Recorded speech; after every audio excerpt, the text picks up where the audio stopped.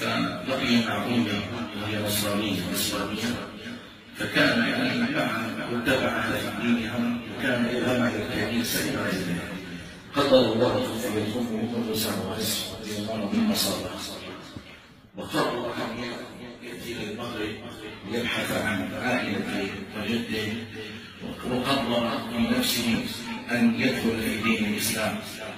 بعد أن سمع هذا لله سبحانه وتعالى إلى حال الشباب بالموافقة.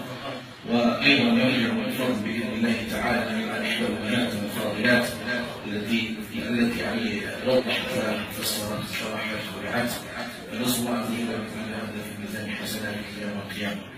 ونسأل الله سبحانه وتعالى أن يوفقنا وإياه وأن يثبت قلبنا وقلبه على دينه لا لا معنى التصديق في دين الإسلام. تصديق بالكتاب الله أكبر. أشهد أن لا إله إلا الله. وأشهد أن محمدا رسول الله. الله